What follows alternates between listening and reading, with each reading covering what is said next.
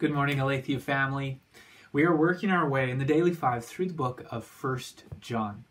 And in his introduction, John says that he's writing this letter so that our joy may be complete. And what a wonderful meditation at a time like this. Our passage today is 1 John chapter 2 verses 1 through 6. Here's what it says. My little children, I am writing these things to you so that you may not sin. But if anyone does sin, we have an advocate with the Father, Jesus Christ the righteous. He is the propitiation for our sins, and not for ours only, but also for the sins of the whole world.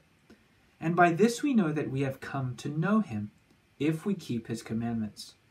Whoever says, I know him, but does not keep his commandments, is a liar, and the truth is not in him. But whoever keeps his word, in him truly the love of God is perfected. By this we may know that we are in him. Whoever says he abides in him ought to walk in the same way in which he walked. So far, here's what John has told us that joy comes through fellowship, fellowship with God and God's people. And the number one threat that undermines that fellowship is sin. Now, it's no surprise then that in verse 1 of chapter 2 he says, I'm writing these things so that you may not sin. Rejecting sin is easier said than done. I I know this, you know, I got started in ministry in youth ministries, discipling teenagers. And it's pretty extraordinary to see how difficult it can be in your teenage years to reject sin. And the nature of it might change a little bit as you become an adult, but the intensity and the, the difficulty of rejecting sin really never changes. However, in my conversations with people, there has been one thought or one line of thinking, one paradigm that has proven more helpful than any other when I've been talking to people about how we reject sin. And here it is the more we fall in love with Jesus, the more we will fall out of love with our sin. It's proven so helpful both in my own life and in the lives of people who have been helping reject sin.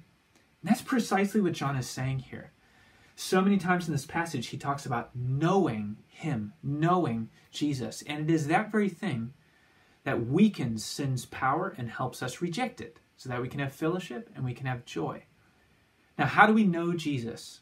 Three things. We need to know who he is, know what he's done, and know him. So, first, know who he is. In verse 2, excuse me, in verse 1, it says, If anyone does sin, we have an advocate with the Father, Jesus Christ, the righteous. We need to know who he is, that he is righteous, he is holy in his character.